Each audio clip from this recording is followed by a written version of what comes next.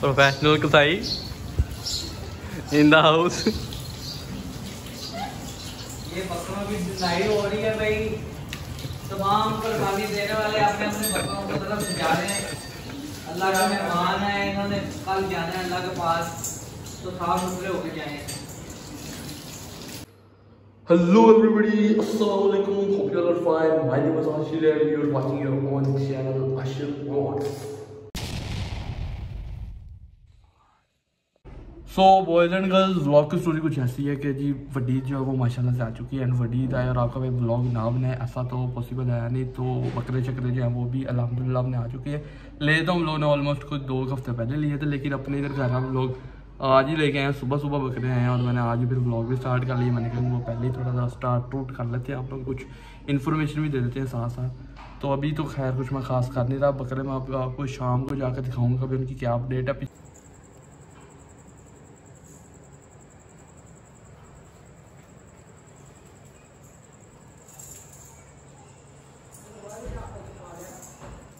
जी तो boys and girls finally आपको भाई जो वो फुल रेडी शेडी हो चुका है। एंड अभी बस पाँच दस मिनट तक आपको भाई जाएगा नमाज़ पढ़ने के लिए। तो नमाज़ पढ़ के आके आप लोगों से मिलूँगा।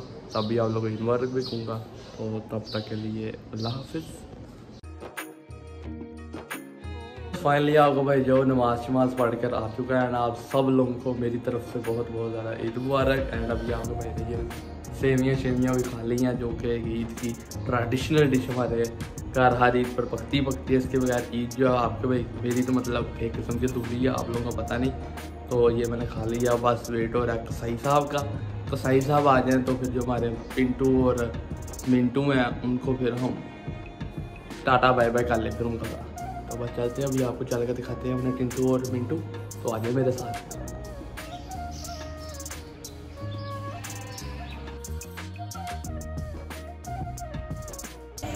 ये जो boys and girls black and white के पीछे है, ये अपना पिंटू है। और ये जो ब्राउन और ये है, ये अपना मिंटू है।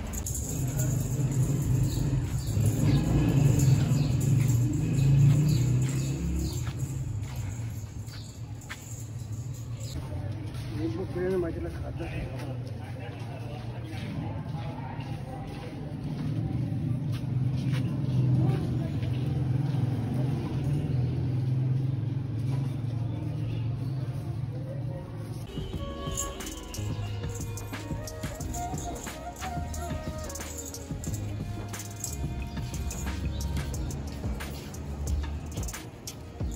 क्योंकि भाई ने जो दोबारा से अपना होलिया जो थोड़ा तब्दील सा कर लिया बिकॉज़ आपका भाई थोड़ा काम शाम सा कर रहा है।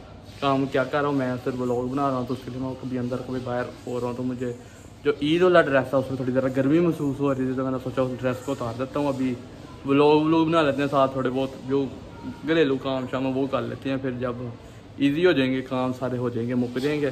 शाम भी हो जाएगी, मौसम भी थोड़ा ठंडा हो जाएगा, दोबारा से वो सूट पहन के अच्छी जिसमें एक तस्वीर खिंचवा के तो फिर इंस्टाग्राम पे पोस्ट कर देंगे। तो फिर अभी चलते हैं बाहर और करते हैं काम। आ जाए फिर। अंदर जो है जी बॉयज़ एंड गर्ल्स गराज है, वो साफ़ सुथरा हो रहा है क्योंकि फिर इसी गराज के अंदर हमने अपने बकरे बकरे जो है, पाँचों के पाँच, वो ज़िबा करा कर उनका गोश्त कुछ तैयार त्यूर करना है। तो वो हम फिर एक गराज जो है, वो अपना रेडी शेडी कर रहे हैं। ये बेसिकली मेरे नानों का घर है। नानों को जाऊँगा ओए ओए छुट्टी पड़ गई ओए ओए तो ये ज़रा साफ़ सुथरा हो रहा था आज बकरों ने रात भी अपनी यहीं पर गुजारी है ये उन्हीं का गंद गुंद ज़रा बैठ निकाला जा रहा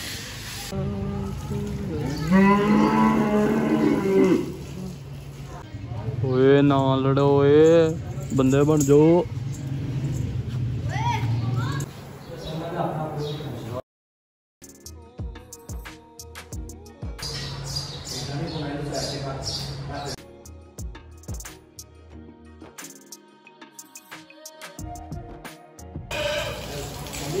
감사합니다.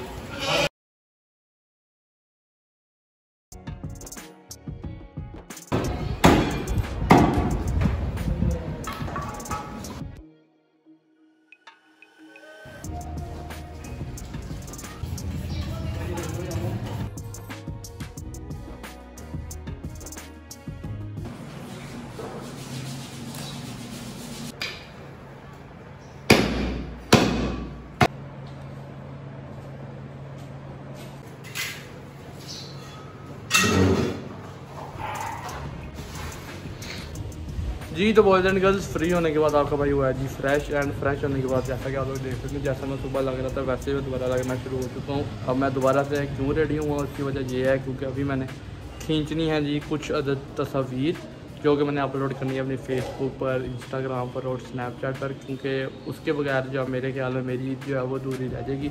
अभी तक मैंने ऑलमोस्ट जितनी भी ईद मनाई है, उन सब में ये काम अमूमन तो मैं करता था शुरू में। लेकिन इस बार ज़रा थोड़ी मसरूफियत की वजह से पिछले टाइम जाके ये काम करना पड़ रहा है। तो बस वो काम कर लो तो दोबारा से मैंने कपड़े शपड़े उतार देने और आ जाना है ट्रोज़र शर्ट के अंदर वापस। तो आ जाए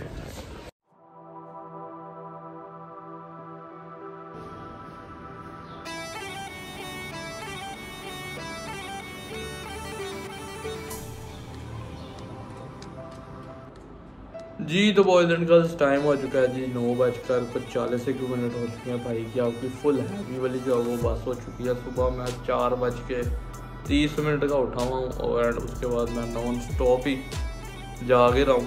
काम शाम भी आज बड़े हैवी वाले कर लिए तो फुली थकावट टाइप सी हो गई है। तो अब लोग को भी इसी के साथ यहीं पे करते हैं।